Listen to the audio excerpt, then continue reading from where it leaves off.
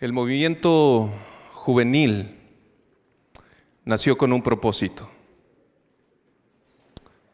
El movimiento juvenil no es producto de la casualidad.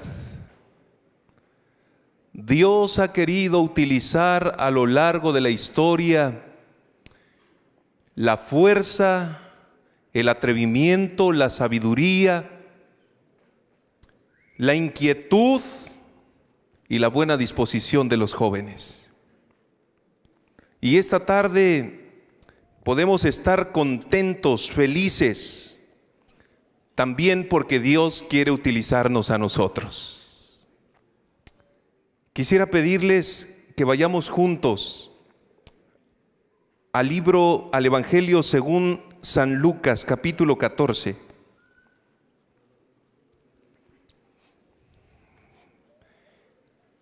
Vamos a colocar nuestra atención en el versículo 26. San Lucas capítulo 14, versículo 26. Y la Biblia dice de la siguiente manera,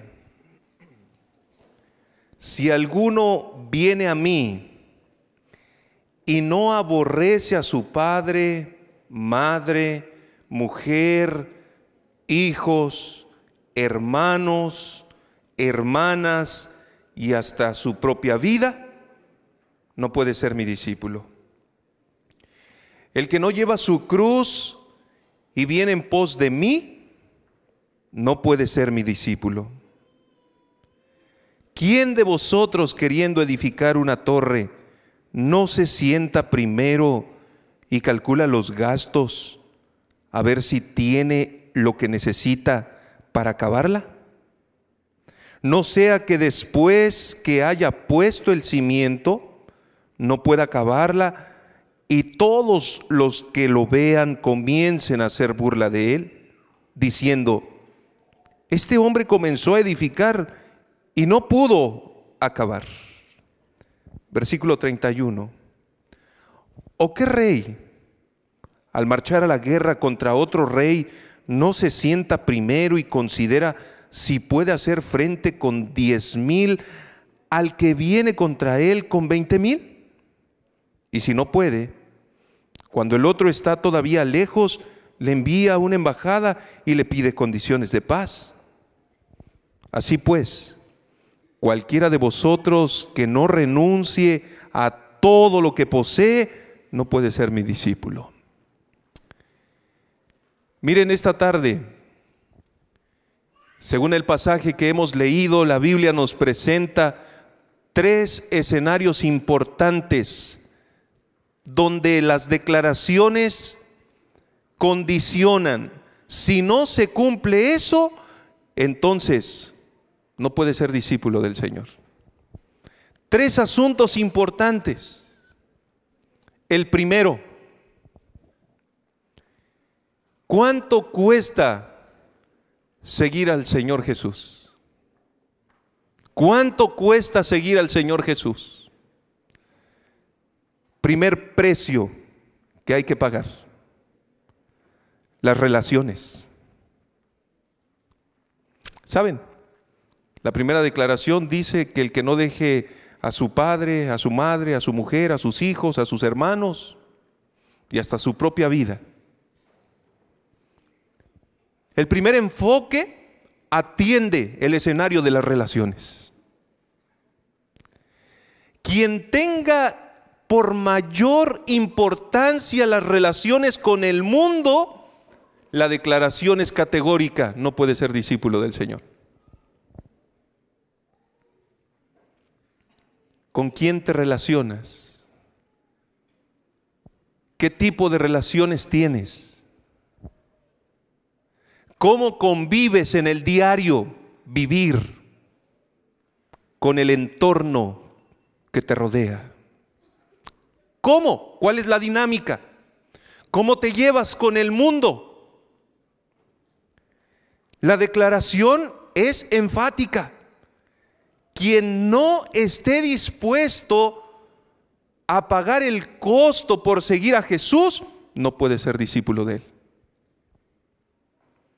Primer asunto, la más importante de las relaciones que tú y yo debemos desarrollar es nuestra relación con Cristo. Nuestra relación con Él.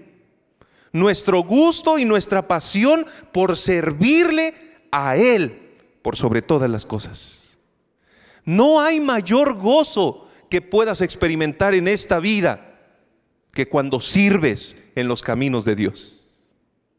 Allí encuentras la felicidad, allí encuentras el gozo. Es allí donde el Señor te capacita, te faculta y te da la autoridad que ha prometido a través de la presencia del Espíritu Santo. Es entonces cuando encontramos una vida diferente, una vida con gozo, con el verdadero gozo, con rostros y semblantes que se han encontrado con Cristo Jesús. Sacrificar las relaciones, tal vez esta tarde tiene que ver con un llamado a poner nuestra, nuestra atención en aquel que es capaz de proveernos lo mejor para bendición de nuestra vida, Cristo Jesús.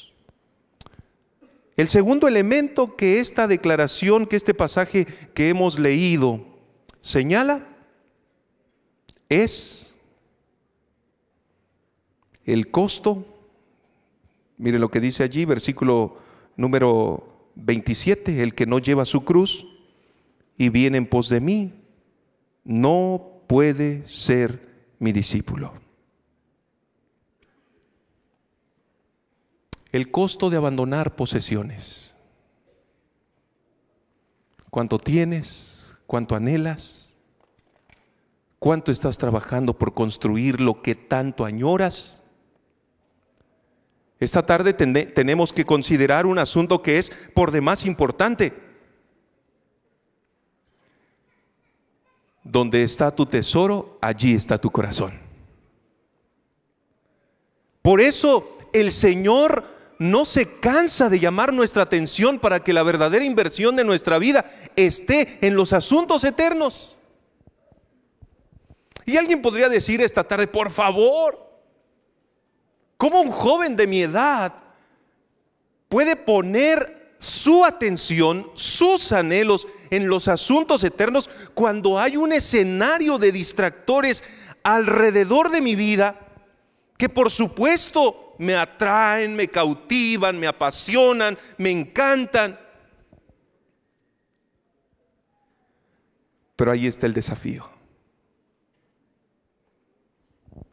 ¿Cómo lograr que nuestros jóvenes amen sobre todas las cosas a Cristo, más que al mundo. ¿Cómo lograrlo? Por principio de cuentas debemos saber que hay una promesa maravillosa, que cuando tú y yo renunciamos al mundo y aceptamos a Cristo, la promesa de su presencia para bendecirnos, fortalecernos y proveernos todo lo necesario es una realidad. En otras palabras, no estamos solos. Significa entonces que este proceso del discipulado, que este desafío que tenemos por delante, que este trayecto que tenemos que avanzar, no lo transitamos solos. Jesús está con nosotros. Y esto es maravilloso porque no basta con ser de la multitud. Recuerden ustedes, en muchas de las historias la gente busca a Jesús por interés, por curiosidad, por distintas maneras, de diferentes formas, la gente busca a Jesús porque han escuchado de un mensaje, porque eh, Jesús hace milagros, porque Jesús sana, porque Jesús y su obra es extraordinaria. Cuando nosotros nos ocupamos de compartir a Jesús y su bendito evangelio, nuestra vida no requiere absolutamente nada más. Allí está el secreto de la felicidad. Por eso, este escenario, este segundo escenario, nos traslada a estar dispuestos a abandonar absolutamente incluso las posesiones materiales y poner nuestra verdadera atención en el reino celestial que Jesucristo ha prometido para bendición y salvación de todos aquellos que le aman. Miren, hay un tercer escenario que se presenta. En la última parte señala, versículo 33, no solamente las posesiones, sino también a las aspiraciones que podamos tener en esta vida. Es decir, necesitamos que nuestra mayor y más profunda aspiración sea pasar la eternidad con Cristo Jesús. ¿A qué aspiras en esta vida? ¿Cuáles son tus sueños, tus anhelos? ¿Qué te mueve? Seguir a Jesús tiene un costo, pero es la más extraordinaria de las delicias que un ser humano puede experimentar. Voy a repetirlo. Seguir a Jesús tiene un costo pero es la más extraordinaria de las delicias que un ser humano puede experimentar. No hay mayor gozo que estar con Cristo y compartir su amor con los demás. Recuerdo perfectamente que tuvimos la oportunidad de ir un mes, como lo siguen haciendo los estudiantes de teología, a nosotros nos tocó ir a Durango. Y en la ciudad de Durango, literalmente todos los días tragábamos polvo porque la zona donde nos asignaron no estaba pavimentada, las casas eran de cartón, había desafíos sumamente complicados. Pero llegamos allí y todos los días había que salir y tocar puertas. El mensaje que llevábamos era un mensaje de esperanza. Pero cuando nos encontrábamos con las personas, amablemente nos dejaban pasar. Algunos de ellos nos decían, siéntense. Y cuando mirábamos buscando una silla para sentarnos, no había nada.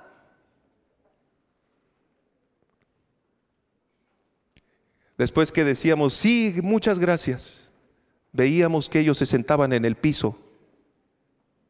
La invitación a sentarse era siéntate en el piso. Bueno, y nos sentábamos en el piso. Y comenzábamos a compartir con las personas. ¿Cómo están? ¿Qué necesidades tienen? ¿Cómo está su vida? Rápidamente comenzaban a abrir su corazón y exponían sus necesidades. Tenemos este problema, tenemos esta dificultad, estamos en esta lucha, tenemos un hijo enfermo. Recuerdo perfectamente que uno de los casos nos llevaron a la habitación para mostrarnos a un hijo enfermo desde nacimiento. 18 años tenía el hijo y estaba postrado en cama. Nunca había sido autosuficiente en todo momento. Los padres, la familia tenía que ayudarlo, sin recursos, sin esperanza, sin salud. Y cuando veíamos esos cuadros complicados, evidentemente nos armábamos de valor, clamábamos al Señor y le decíamos, Señor, haz un milagro, ten misericordia de esta familia. Pero ¿saben qué descubrimos después de todas las visitas, después del mes que estuvimos allí? Algo maravilloso. Que cuando uno dedica lo mejor de su vida a la causa del Señor, el Dios eterno coloca en nuestros corazones gozo, felicidad, paz y abundantes bendiciones. Eso no lo podemos encontrar en ningún otro escenario. Todo lo que este mundo ofrece es pasajero, es relativo. Pero lo que Dios ofrece perdura y confirma su presencia y sus bendiciones para cada uno de nosotros. Dios es increíble. ¿Qué cuesta seguir a Jesús? Debo decirles que hay un deber de todo cristiano que anhela llegar al cielo. Debemos fortalecernos en el Señor, invertir lo mejor de nuestra vida. No podemos estar haciendo trabajos inútiles que no fructifican. No podemos estar desperdiciando la gracia y el infinito amor de Dios. No podemos. La forma de fortalecer nuestra vida es a través del servicio. Y si no tenemos fortalezas, escuchen muy bien, estamos a merced del enemigo. Un cristiano débil, un cristiano que no ha tenido la experiencia de ser fortalecido a través del servicio, cuando vengan los desafíos, será y estará a merced del enemigo. Por eso esta tarde quiero recordarles que solo el poder de Dios es el único capaz de construir las verdaderas fortalezas en nuestra vida. Y pensando en ello, quisiera invitarte esta tarde a hacer un compromiso con Dios, un compromiso de servicio, un compromiso que vaya más allá de nuestra comodidad un compromiso que nos incomode, que nos inquiete, que despierte lo mejor de nuestra vida. Un compromiso en donde estemos dispuestos a negar absolutamente todas las cosas, posesiones, relaciones, incluso aspiraciones, con tal de poner a Cristo Jesús en primer lugar y su bendita causa. Es una invitación. Yo quisiera preguntarte esta tarde, ¿cuántos con la ayuda de Dios están dispuestos a dejar absolutamente todas las cosas que puedan distraerlos y colocar su vida al servicio de Cristo Jesús? ¿Puedo ver tu mano en alto? ¿Quién está dispuesto a poner su vida al servicio de Dios. Que el Señor les bendiga en esta tarde. Que el Señor les guarde. Permítanme hacer una oración de dedicación y consagración por las decisiones que ustedes han tomado en esta hora. Bendito Dios y Padre que estás en el cielo. Santificado sea tu nombre, Señor. Te damos gracias porque tú eres bueno con nosotros. Un día te manifestaste a nuestra vida y hoy, por tu gracia, podemos ser llamados hijos tuyos. Bendito sea tu nombre. Señor, pero entendemos la necesidad de servir, de compartir las buenas nuevas de salvación, de extender tu reino, de alcanzar a otros. El desafío no es sencillo, Señor, pero tú estás con nosotros. Y eso nos garantiza no solamente el éxito para esta tierra, sino principalmente el galardón más extraordinario, vivir la eternidad con Cristo Jesús. Por eso, Señor, nos comprometemos contigo esta tarde y te pedimos que hagas todo lo necesario para que en todos los escenarios de nuestra vida Cristo Jesús sea lo más importante para nosotros. En su santo nombre lo pedimos y agradecemos todo. Amén.